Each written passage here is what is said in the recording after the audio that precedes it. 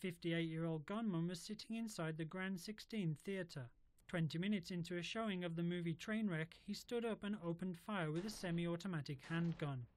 Reports said he first shot at two people sitting in front of him before proceeding to fire at other moviegoers. Two teachers were among those injured. One threw herself in front of a colleague, taking a bullet for her. Her colleague was shot in the leg, but still managed to activate a fire alarm. Less than a minute later, police officers arrived at the scene. The gunman then shot himself before they entered the theatre. Two people, in addition to the gunman, were killed and nine others were injured.